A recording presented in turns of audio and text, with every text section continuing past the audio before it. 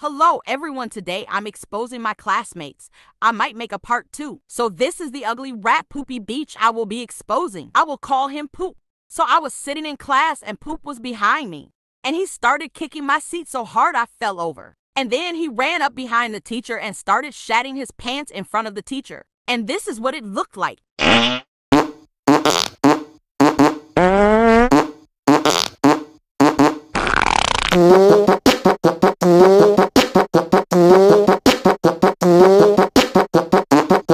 Has done way more than just that. So it was recess time and Poop was in the yard.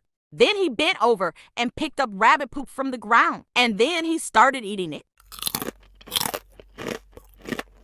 And then when I walked inside, Poop was smearing the rabbit poop on the walls. And the next day, Poop stuffed so much of his poo poo in the toilet that it overflowed, with poop and pee leaking all over the second floor of the school. And Poop looked so proud of himself. And then one time we were eating our snacks in the classroom, and Poop brought a jar of sus looking milk. Guys, look, I have yummy mommy milk. And then he drank it, eating the jar as well. He then took off his pants and underwear, and the whole class could see his man no no part. And then he started twerking, and he had no underwear on. There was poop on his bum cheeks. And yet, this poopy rat hasn't been suspended or even confronted, and he still goes to my school. Anyways, bye.